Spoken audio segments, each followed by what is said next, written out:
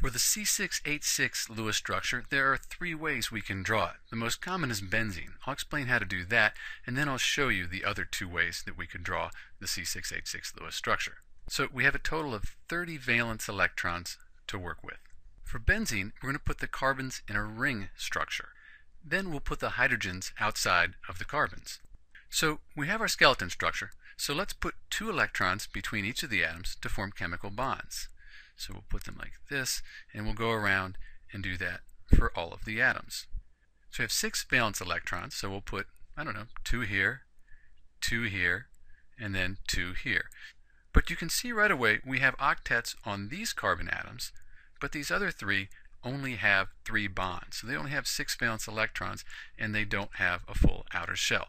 So we're going to need to form some double bonds. It looks like we'll need three double bonds. So let's take these two valence electrons and form a double bond between these two carbons.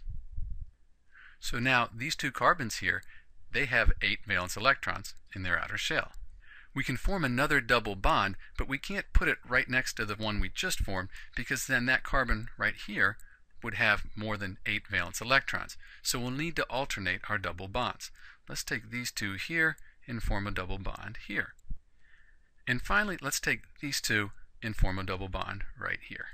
So now we're still using 30 valence electrons, but each of the carbons has 8 valence electrons, so its octet is satisfied.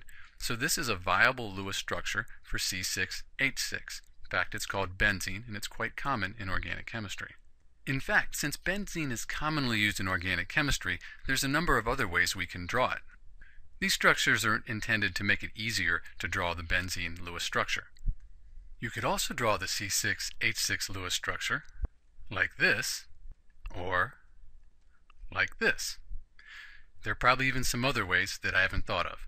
So that's the Lewis structure for C6H6. Probably the most common will be the benzene. That's probably what you would be expected to know. But there are other isomers or ways to draw the C6H6 Lewis structure. This is Dr. B, and thanks for watching.